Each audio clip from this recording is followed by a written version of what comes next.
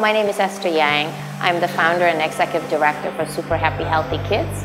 And I teach kids to do karate, yoga, Legomania, med meditations, and I teach them how to swim. Mostly teach them about how to be a better person because when I was growing up, um, it's nice to be so loved, and so I thought that that's uh, how I do it because I think my investments with the kids and to teach them to be a better person, I, it's my way of investing in the world because this is how the world is going to be, in my opinion, better.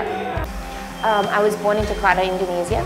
I went to school in Singapore and then I came here and I have eight brothers and I'm the only girl. So I have five older brothers and three younger brothers and what's really unique about my life and I think I have a very interesting life. I was adopted by this American family and so both of my mom and my dad are Caucasian. My Chinese parents have to give us up so we could be adopted so we could stay here legally, technically so that I could be a US citizen. My, my father was a police officer in New Jersey and my mom was, my mom worked for General Motor and I feel that um, I'm very privileged to be adopted by them because they were really, really there emotionally, physically, financially, spiritually, and they never miss any of like my brother um, wrestling game or or anything that I do. They were like so into us, and I thought if anything that I learned for anything, um, they really taught me how to be grounded and to really be um, to how to raise children and because that's how I am with my kids when I do karate just or yoga and I just think like it's so much fun.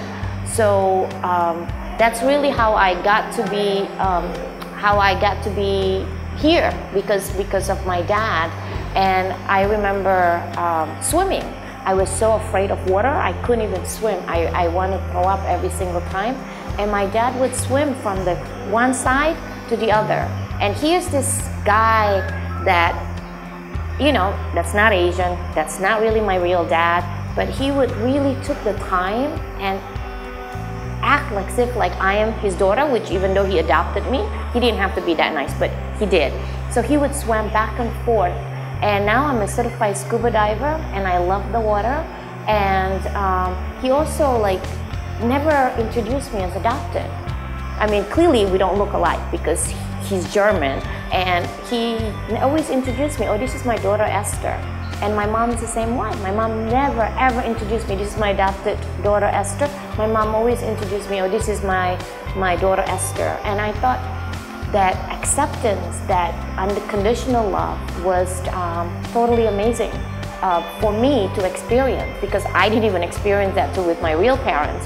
And so I really understand that being adopted that you don't have to give birth to your child uh, to have that love. I think to be an American for us, for Asian, we could do more.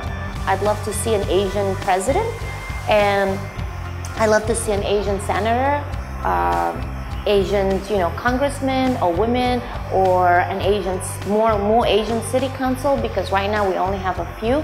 So that's really for me to be, uh, to be an American that we not just take it for granted, but uh, really to vote and to register to vote and to help other people to vote and to be really civilly active.